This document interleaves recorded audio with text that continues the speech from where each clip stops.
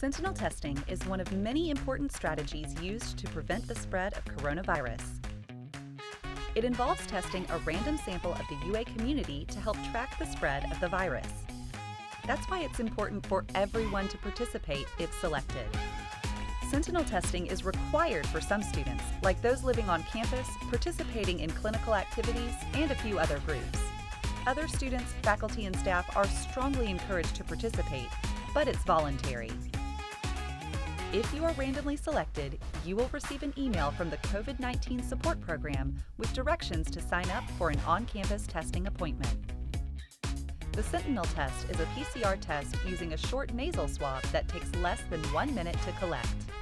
Results are provided within 72 hours, and there is no cost for the test. You will even receive an incentive gift for doing your part. For questions, visit healthinfo.ua.edu slash testing hyphen information. We all have a role to play in keeping our campus as healthy as possible.